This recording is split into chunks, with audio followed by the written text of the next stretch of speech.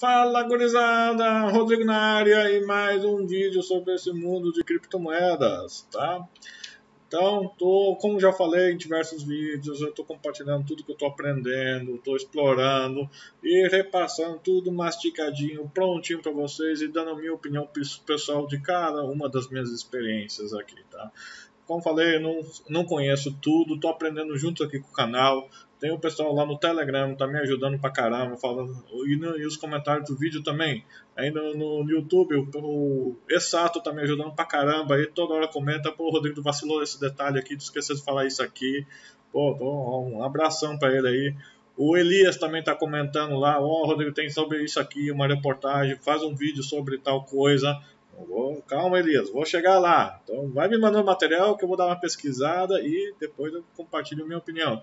E tem o Dias lá que tá minerando lá com a sua rig, lá com as suas placas 3070 Ti, 3060, tá felizão da vida lá, tá tirando umas dúvidas lá com o pessoal do Telegram.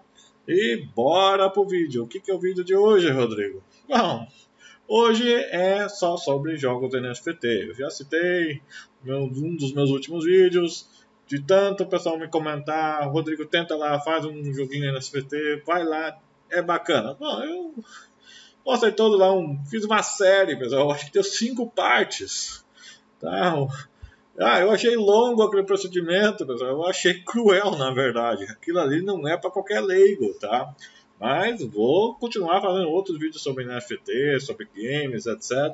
Mas vamos concluir a minha experiência, né? Então, fiz o teste lá na no Bomb Crypto, tá? Comprei um personagem lá, comecei pequeno, porque como todo qualquer investimento, para ver se o negócio funciona, tu tem que começar pequeno, não vai arriscar a sua vida inteira, a sua casa, a sua esposa, seu cachorro, até suas cuecas lá no meio do, do, desse mundo de investimentos, porque sempre tem um malandro, sempre tem um espertinho por trás, tá?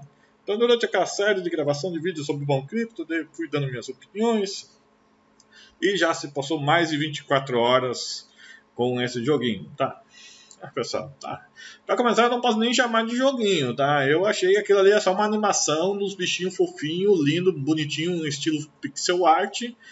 E que tá me dando trabalho. Ó, apesar de eu só tô com um personagem só lá, eu não tô gostando não, tá? De, quando eu lembro, eu abro o navegador e mando rolar aquele joguinho, tá? Então tá aqui, vamos ver o meu progresso de hoje. Tá aqui o jogo, Bomb Crypto. É, até faz uma horinha atrás é que eu abri. Eu não sei quanto tempo leva para esses bichinhos para descansar completo. Se alguém que souber, comenta aí. Mas eu acho que tem a ver com o poder dele de estamina. Se alguém souber aonde está esse cálculo ali, é, que quanto tempo ele trabalha por tanto tempo para descansar tanto tempo. Para eu já começar a fazer um, um reloginho, me cronometrar de que, de que horas em horas eu tenho que abrir o jogo e mandar dar um play lá. Então, quem acompanhou lá na, naquela série, clicava aqui em Play Now. Depois eu fui estudar um pouquinho mais desse projeto, pessoal. É, até que essa empresa desenvolvedora do jogo, até que está fazendo liçãozinha de casa, tá, pessoal? Eu só não sei até quanto tempo esse jogo vai ser sustentável, tá? Não tem como eu ter uma bola de cristal.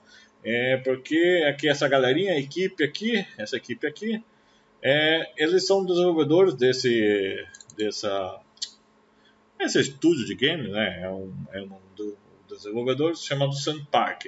E realmente já postou vários joguinhos na, na, em plataformas mobile. Ah, no Android eu já vi esse aqui, eu já vi esse joguinho aqui também. Ah, esses outros aqui, esse do Bomb, Bomb Squash, eu acho que eu vi lá. Ah, aproveitaram já todos os sprites, toda a animação pronta do Bomb Squash e replicaram o Bomb Crypto, né? E também aqui a questão de como vai ser é, a economia do jogo. Esse aqui é uma economia simples, tá, pessoal? No longo prazo, isso tem a tendência de quebrar. Tá? Apesar de estar fazendo uma reserva de fundos e tudo mais, mas, pessoal, vai quebrar. Não sei quando, mas vai quebrar. Se eles não mudarem essa postura aqui da distribuição ou criar uma regra de uma economia, o jogo vai quebrar, tá, pessoal? Então, enquanto tá vindo novos jogadores, essa economia simples aqui é ainda viável, tá? Economicamente viável, tá? Mas, no caso lá do o, o CEO lá da, do Facebook, agora Meta, ele tem lá no mundo metaverso uma coisinha mais complexa. Eu vou citar um vídeo não. Estou prometendo um vídeo aí sobre metaverso com a minha opinião que vai ser lá de lá, tá? Então, qual é a minha opinião sobre a projeção do metaverso, tá? Bom, isso aqui, enquanto tiver jogadores entrando, ainda é viável. O dia que esse jogo, vamos dizer, estagnar, eu acho que o jogo vai quebrar ainda. Eles vão queimar todo o resto do fundo, que foi uma espécie de economia, e depois acabou, pessoal. Só se eles implementarem umas novas estratégias, como aqui no YouTube. O YouTube mesmo investiu pesado nisso. Imagina a quantidade de servidores, data centers para o sistema ser viável. Só para depois de alguns anos rodando, praticamente dando prejuízo, que implantou um sistema de marketing interno que começa a ser economicamente viável. Então, a mesma coisa. Se o jogo amadurecer mais para frente, ele criar algum esquema, alguma coisa que pode fazer tipo um marketplace interno. Acho que o Sato comentou lá comigo, ah, em breve tu vai poder vender seu personagem. É, não li nenhuma notícia sobre isso aí, que vai ter marketplace, mas quem sabe? tiver um marketplace e vender outras coisinhas dentro do, do jogo, não propriamente coisas do jogo, alguma coisa, um serviço, sei lá, ou um plano de assinatura para esses joguinhos aqui numa versão VIP completa, aí talvez sim. Mas vamos ver como é que tá meu andamento meu joguinho aqui. Claro, pessoal, tem canais de YouTube que se especializou nesse jogo, tá? Eu estou dando minha opinião sincera, não quis investir muito porque é um canalzinho pequeno, né, pessoal? E eu não acredito nesse investimento aqui. Então, uma das partes chatas é isso aqui que eu odiei, tá? É, não dá para nem visualizar direito. Então, aqui, 4, 1, 5 nesse momento, deve ser isso aqui. Já comentei sobre o MetaMask, que para mim é uma carteira temporária, não achei segura essa MetaMask, tá? Qualquer pessoa que sentar aqui e usar meu computador tem acesso ao MetaMask, né? Eu acho que deveria ter um esqueminha aqui que só podia abrir como um SMS do celular, ou Google Autenticador, ou uma mensagem por meu e-mail, alguma coisinha aí para dar uma redundância, mas tá, tá bom. É, que legal, o jogo deu pau. Vamos ver se eu consigo mais uma vez. Se não rodar, vai ficar para o próximo vídeo, pessoal. Vamos lá, mais uma vez. Conectar a carteira. Aí o MetaMask exibido aparece lá.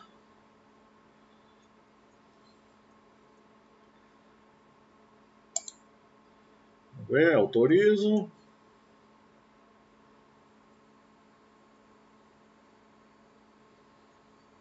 É, acho que agora foi.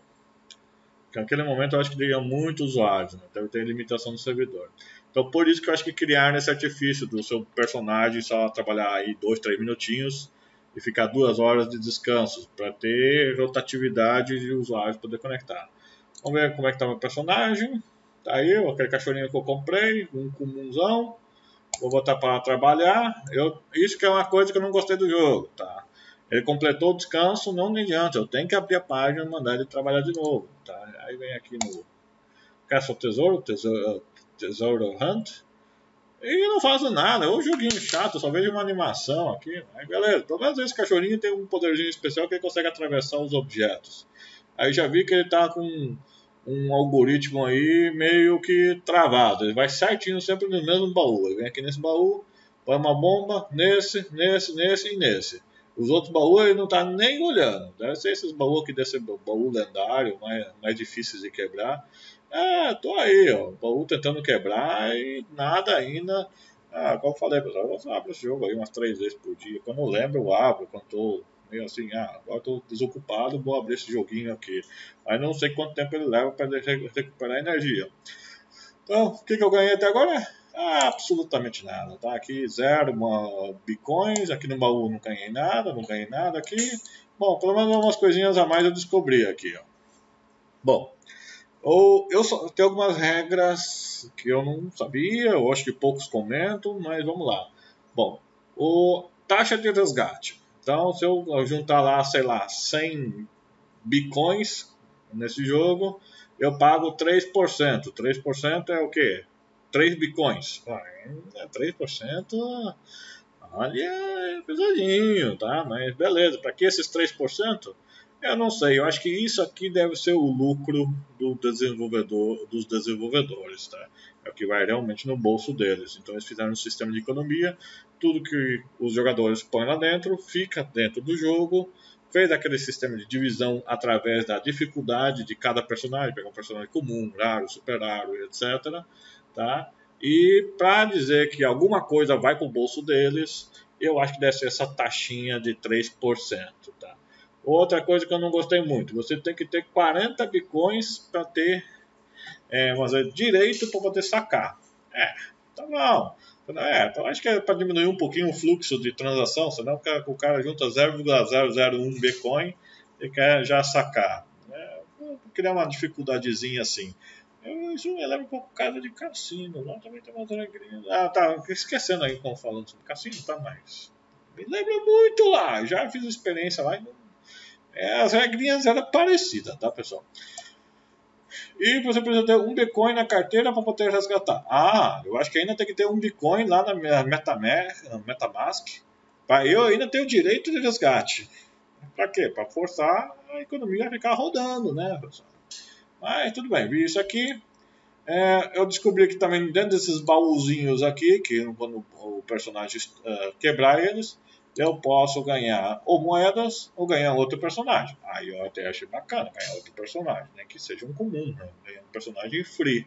Como falei, a estratégia desse jogo é ter o máximo de personagem possível, mais ou menos por um cálculo de quanto tempo leva para cada personagem se recuperar. Então, pode botar 15 de vez, mas quando vê, tu faz um cálculo ali, tu precisa uns 300. Aí tu sempre tem 15 personagens rodando, Aí tu pode deixar esse jogo rolando 24 horas por dia. Só que não adianta, é manual, não é renda passiva. Eu tenho quase eu estou contratando alguém para ficar jogando isso aqui para mim, pessoal. Não estou gostando disso aí, não. E outra coisa sacanagem que eu não gostei é, tipo, o cara abandonar esse jogo, mesmo, mesmo tomando um prejuízo, perdendo, ah, sei lá, eu gastei 10 bitcoins para comprar esse boneco aqui.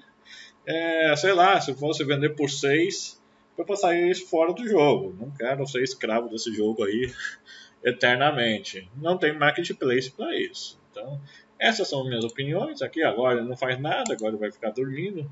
Eu acho que ele dorme automático, só para trabalhar eu tenho que vir aqui abrir essa tela e mandar ele trabalhar. Que coisa chata. E uma outra estratégia que eu vi, no lugar de comprar outros personagens, às vezes vale a pena talvez pegar um personagem e fazer upgrade. Eu vi isso aqui em algum lugar. Vamos ver. Acho que aqui é, é voice. Aqui, melhorar, tá? Então você consegue fazer upgrade com um Bitcoin. Eu já deixo esse personagem aqui, ó.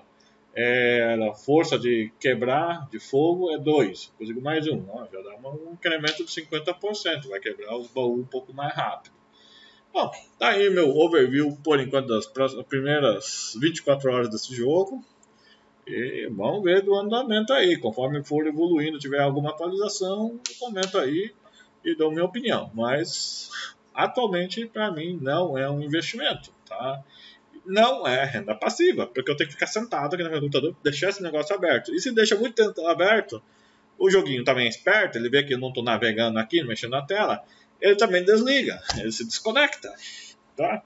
Ou seja, só tem gentinha esperta, né? O trouxa é quem comprou isso aí, tá? Eu, por enquanto, me sentindo um trouxa nisso aí, tá? Bom, Acho que espero que valeu a pena esse meu investimento de ah, 40 dólares. Eu acho que com 40 dólares eu faço alguma coisa mais útil com 40 dólares, tá? Por exemplo, eu comprei uma webcam de qualidade aqui para eu gravar meus vídeos, tá? Mas bola lá para frente. Estou fazendo as experiências e compartilhando com vocês. Um abraço para todo mundo.